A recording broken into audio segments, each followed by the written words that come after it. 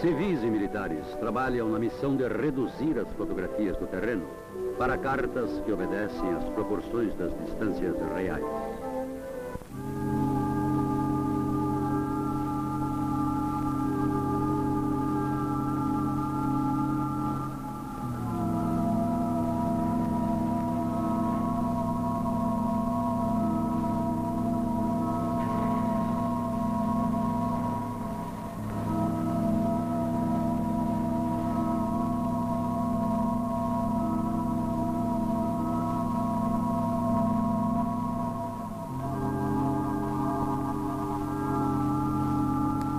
Entre os modernos aparelhos usados pelo Serviço Geográfico do Exército, encontra-se este estereotopo, fabricado na Alemanha, baseado em projeto de um militar brasileiro.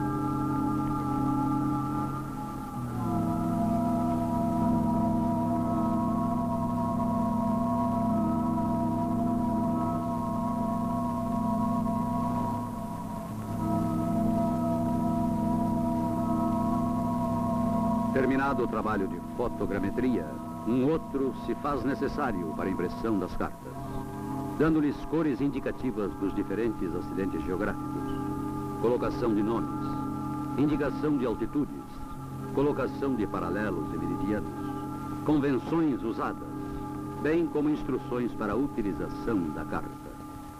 Este é o trabalho desenvolvido na seção de cartografia do Serviço Geográfico do Exército.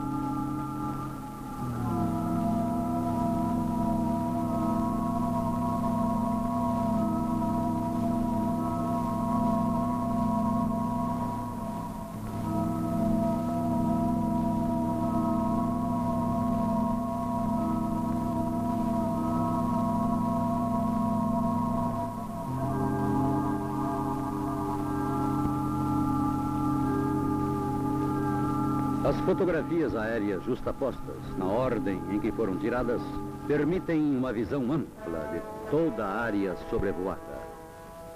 Cada fotografia recebe o seu número de indicação e permite a qualquer momento a visão de qualquer região fotografada.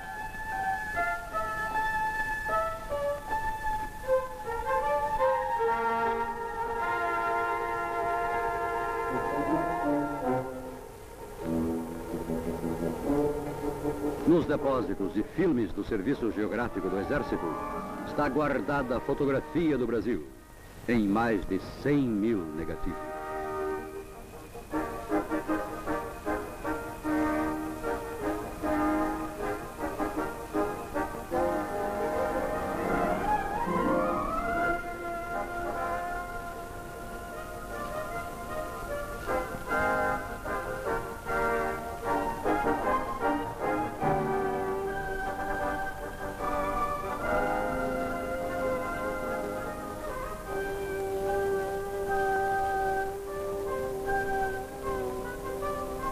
Após o trabalho no plástico, pela seção de cartografia, é o seu desenho transportado para chapas de zinco que imprimirão as cartas.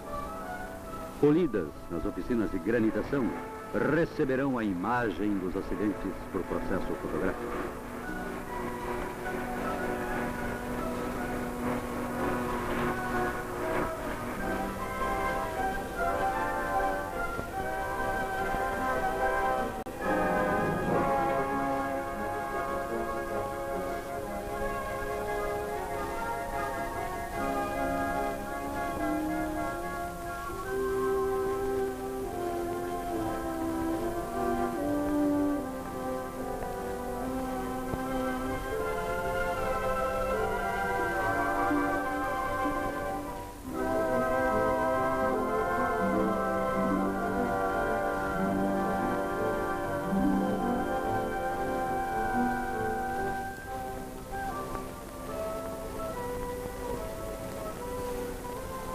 Os projetos de interesse nacional são feitos com bases na carta topográfica. Rodovias, ferrovias, oleodutos, refinarias, grandes indústrias, portos, agricultura, irrigação, hidroelétricas, colonização, têm a sua base, o seu nascedouro, nas cartas confeccionadas pelo Serviço Geográfico do Exército.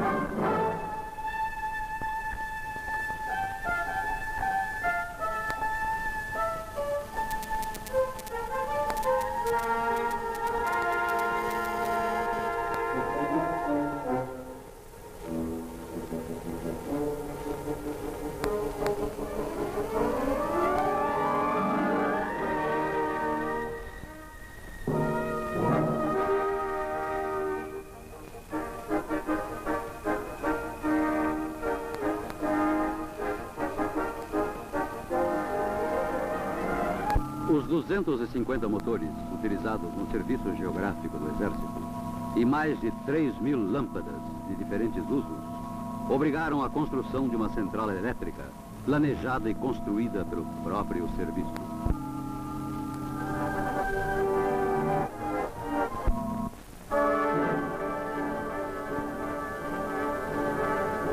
Aqui na Mapoteca está o álbum de família do Brasil. Aqui encontram-se cartas da nossa terra, desde o Brasil menino, de 1502, ao Brasil adulto dos dias atuais. Este é o exército que você não conhece. O exército que fotografa, possibilitando o desenvolvimento nacional. O exército da pesquisa, do descobrimento.